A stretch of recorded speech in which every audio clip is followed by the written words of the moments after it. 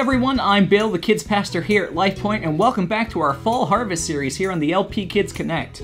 Last week, as we continued our study of the fruit of the Spirit, the words, thoughts, actions, and attitudes that God the Holy Spirit wants to grow in the lives of followers of Jesus, we looked more closely at the third fruit mentioned by the Apostle Paul in his discussion on this topic in Galatians chapter 5, that being the fruit of bridge building, unshakable peace. In discussing the bridge building side of this peace, we learned about how its presence in our lives helps us to bring healing to broken relationships, directs us to work to end fighting and conflict wherever we find it, guides us to show others how to be forgiven of their sins and have their friendship with God restored, and motivates us to leave the individuals, families, and communities that we interact with in a better, healthier place than when we first found them.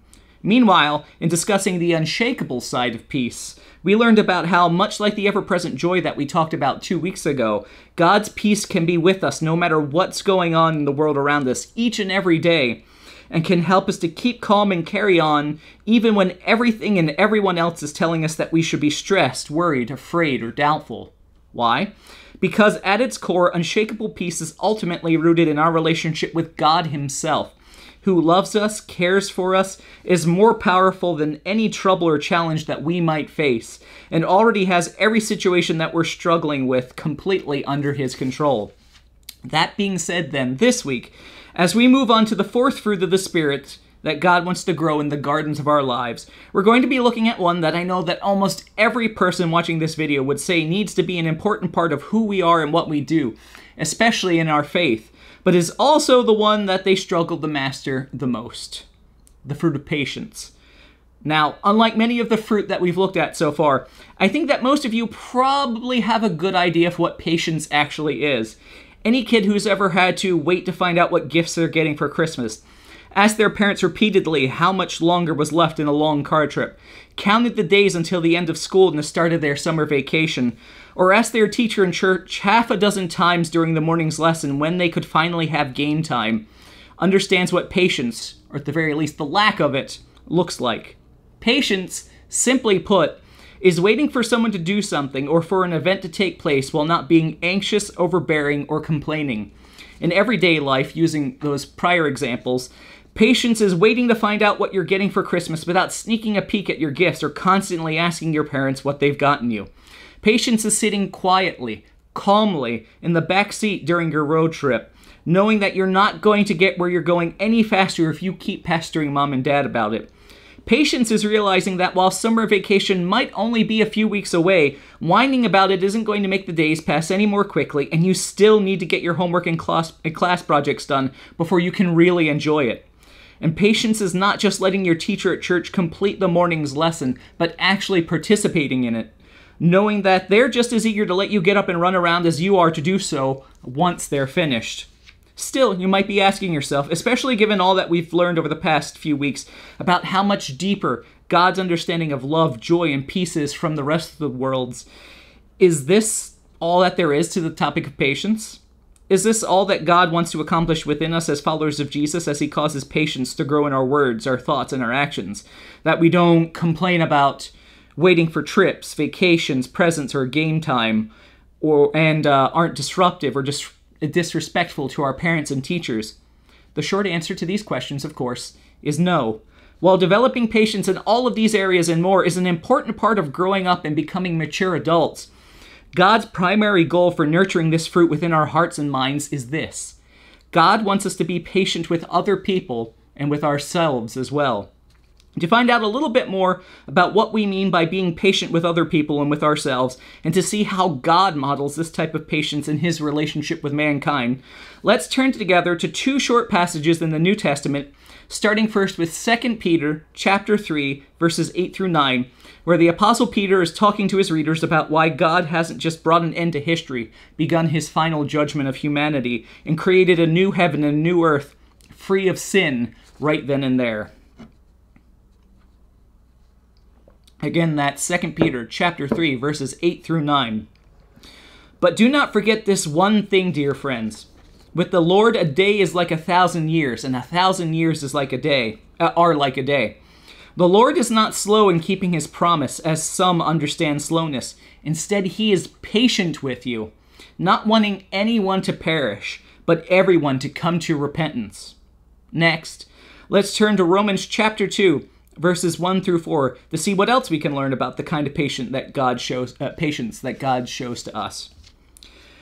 You may think you can condemn sinful people, but you are just as bad and you have no excuse. When you say are they when you say they are wicked and should be punished, you are condemning yourself. For you who judge others do these very same things. And we know that God, in his justice, will punish anyone who does such things. Since you judge others for doing these things, why do you think you can avoid God's judgment when you do the same things? Don't you see how wonderfully kind, tolerant, and patient God is with you? Does this mean nothing to you? Can't you see that His kindness is intended to turn you from your sin? Have you noticed it yet? What God's patient patience towards us looks like, and more importantly, why He's patient with us. Ultimately, it comes down to this. Out of his over and above love for us, God is patient with mankind because he wants to see as many people as possible realize their need to be forgiven of their sins and, through his bridge building peace, have their relationship with him restored. By all rights, God could call us to stand before Him and be put on trial for our sin and disobedience right on the spot, as soon as we make a mistake, and receive the punishment that we deserve for our crimes immediately. However, as we've talked about in past lessons, for as much as God is ju- a just and holy God who must punish all of the sins that we commit, He's also loving and merciful enough to be patient with us, so that we can have as much time as possible to realize the error of our ways ask God for forgiveness through Jesus, and become friends with Him once again, and uh, be spared that ultimate punishment that we deserve because Jesus took our place in receiving it. God doesn't just focus on the wrong things that we've done, but also, in His patience, on giving us time to make things right. And that's how He wants us to live out His patience in our lives, in our relationships with others as well. Jesus himself gives us the best example of how we should treat others with patience and how he treated his own students and disciples in the stories of the Gospels. Throughout their time together during the three years of Jesus' ministry, Peter, James, John, and all the others were shown to be constantly arguing with each other, seeking to become the most powerful and influential in God's kingdom, trying to turn people away from Jesus because they believed that he was too busy or important, constantly asking Jesus when he was going to defeat the Romans and restore Israel's kingdom, not really listening to or understanding what Jesus was trying to teach them at times, and in his greatest hour of need, abandoning Jesus, betraying him, and denying that they even knew him. To put it simply, Jesus' disciples were a mess.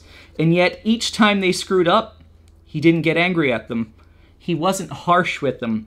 He didn't fire them from being his disciples because of the mistakes that they made, whether it was the first time or the hundredth time.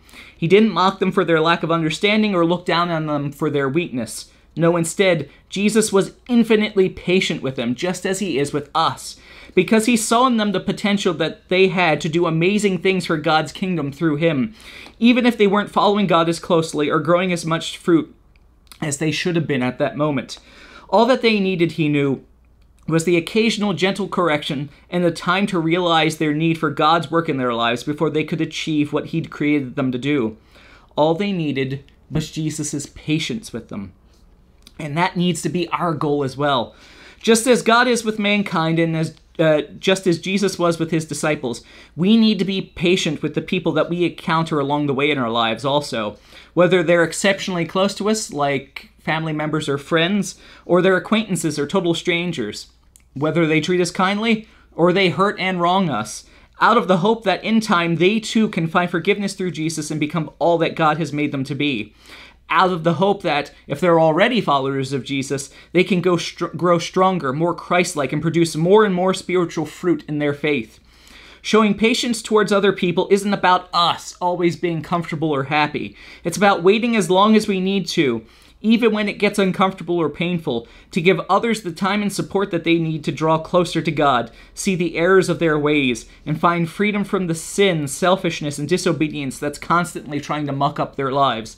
That is the whole purpose of our patience. At the same time, though, just as it's important to show patience towards other people for their own sake and well being and for their spiritual growth, uh, for yes, for the sake of their own well being and spiritual growth. Sometimes we need to do the same thing for ourselves as well. Because we know exactly where our own struggles and weaknesses lie, it can be so very easy for us to sometimes criticize and belittle ourselves for our failure, and in the process, freeze our growth in Jesus and the health of our faith right in its tracks. And while it's important for us to always keep our eyes open for places where we can grow stronger in our walk with the Lord, for stumbling blocks of sin that keep tripping us up and causing us to do things that we know we shouldn't do. We must always remember that the work that God is trying to accomplish in us doesn't just happen in a day. Yes, uh, we were forgiven of our sins and given a new start to life the moment we accepted Jesus as our Savior. But the process of becoming more like Him in our words, our thoughts, and our actions is something that'll take the rest of our lives to pursue. What that means then is that on some days, it might feel like we've taken 10 steps forward in becoming more mature followers of Jesus, while on others, it might feel like we've taken two steps forward and one step back instead, or stumbled and fallen over altogether because of something that we've done. Regardless of the circumstances and how we feel, however, the most important thing for us to remember is that we need to be patient with ourselves as we grow as followers of Jesus, drawing closer to God and knowing that He's always there to help us back up and keep, uh, keep us moving forward, even when we've made a mistake. I suppose then that whether it's with other people or with ourselves, you could say that the patience that the Lord wants to see flourish within us is a growth minded patience, willing to put up with the uncomfortable moments in our lives for however long it takes to see God's plan and God's glory in the world come to full bloom, and to see ourselves and those around us become more and more like Jesus in the process. Or, as Hebrew, Hebrews chapter 12 puts it, Therefore, since we are surrounded by such a huge crowd of witnesses to the life of faith, let us strip off every weight that slows us down, especially the sin that so easily trips us up, and let us run with endurance the race God has set before us. We do this by keeping our eyes on Jesus, the champion who initiates and perfects our faith. Because of the joy awaiting him, he endured the cross, disregarding its shame. Now he is seated in the place of honor beside God's throne. Think of all the hostility he endured for sinful people. Then you won't become weary and give up.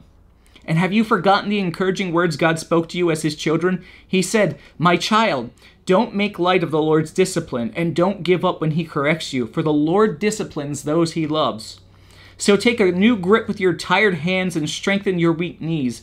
Mark out a path for your feet so that those who are weak and lame will not fall, but become strong.